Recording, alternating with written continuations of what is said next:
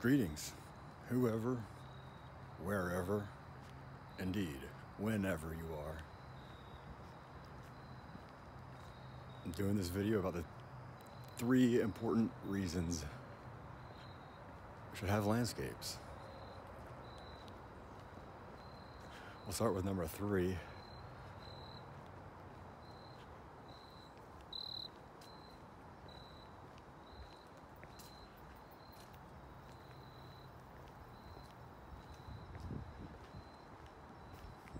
Protecting the built environment.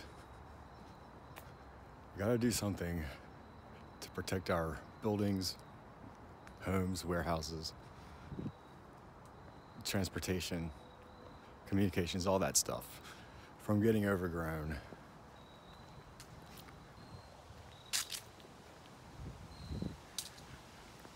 And that's just maintenance. Of course, before a building is built, usually the land is leveled and all that sort of stuff.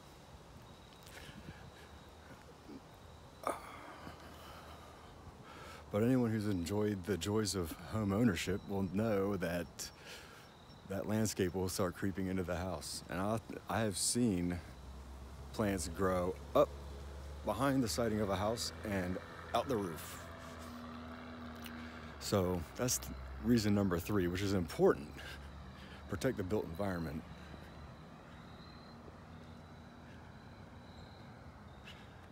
A second reason number reason number two, I should say,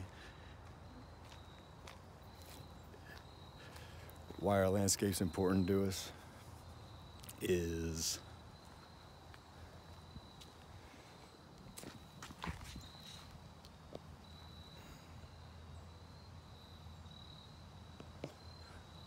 psychological well being. Think about driving into an office park. The grass is an even texture, even height.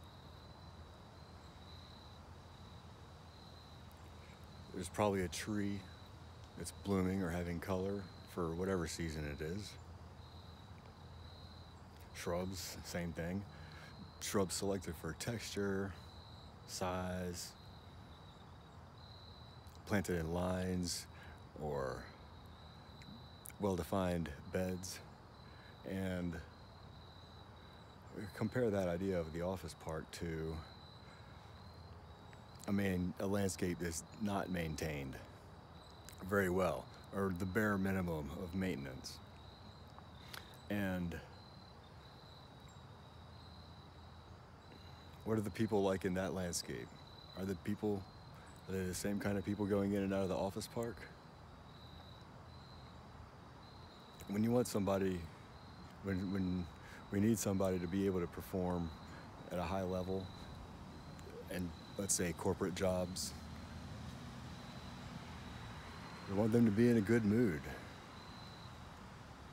We've got to be better performing employees are going to be better performing people in general. Is why people have this same construct around their homes. So,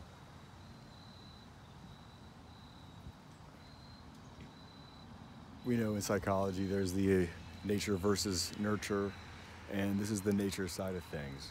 So, having that in place is half the battle. With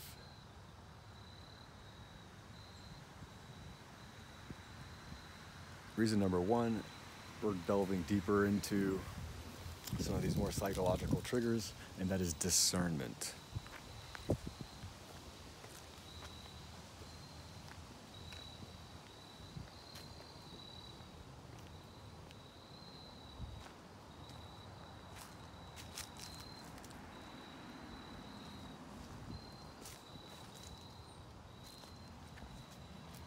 Discernment discerning.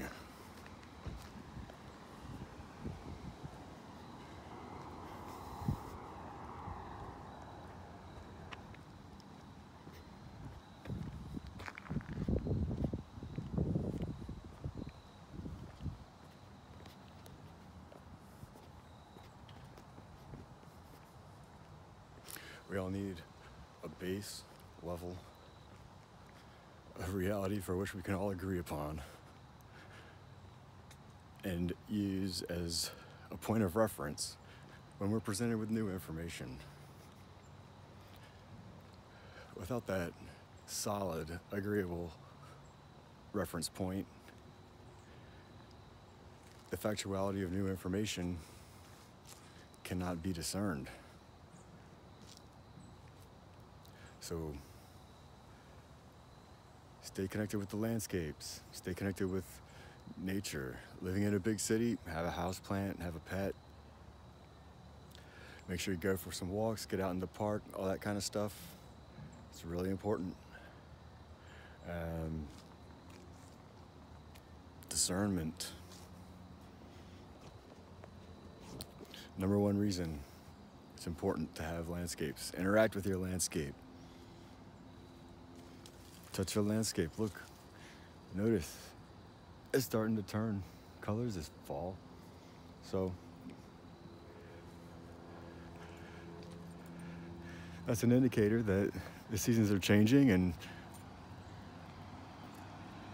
it's an indicator that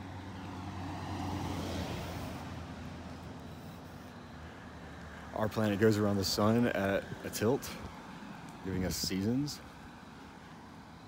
And the plant's change according to that. They've been doing it for a long, long time.